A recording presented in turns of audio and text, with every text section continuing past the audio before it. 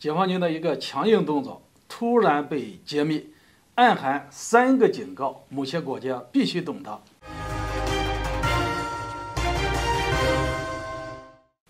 大家好，我是邱云华，欢迎收看云华观点。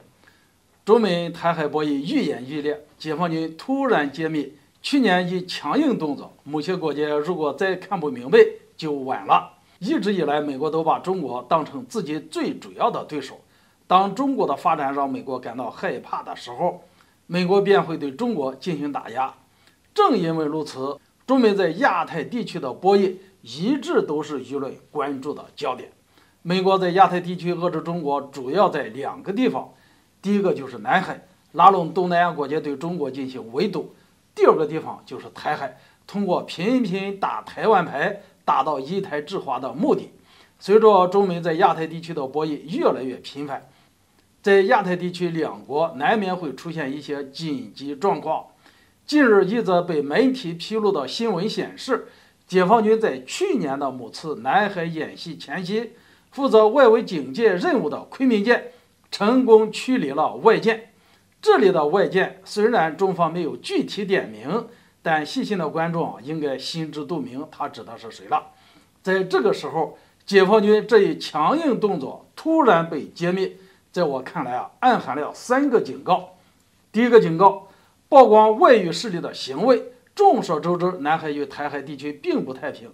随着美国在这一地区的动作越来越频繁，解放军相应的军演也越来越多，这将意味着发生这类事件的数量也越来越多。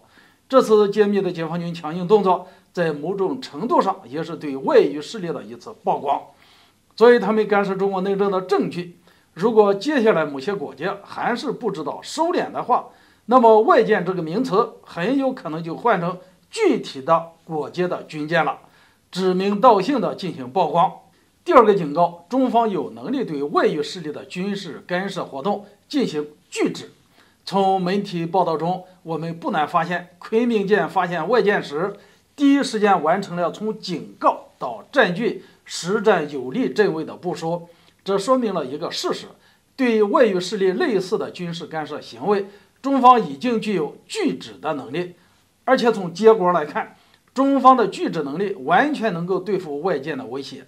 第三个警告是对美国审议台湾政策法案的回应。近日，美国审议台湾政策法案吸引了各方的注意力。一旦涉台法案通过，将意味着中美在台海问题上的变相摊牌。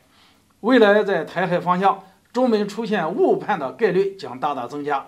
在这个时间点，中方揭秘解放军的强硬动作，其实也是在警告美国：目前大陆海军的实力足以应对来自美国的海上干涉。不管台海政策法案通过与否，在大陆不承认的前提下，它都将是一张废纸。解放军的拒止能力，便是大陆对抗美国的底气之一。可以说，解放军揭秘的这一强硬动作，在给某些国家留足了面子的同时，也给了他非常严厉的警告。某些国家也该醒醒了。如果他还装作看不懂，继续挑衅的话，那么解放军将用实际行动告诉他，这么做的后果是很严重的。